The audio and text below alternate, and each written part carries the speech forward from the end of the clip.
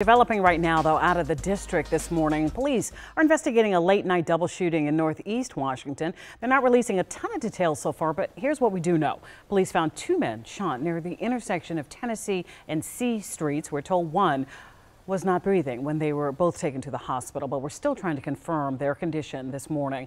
Police tell us they're looking for a white sedan, but no other information about a suspect has been confirmed. Annie?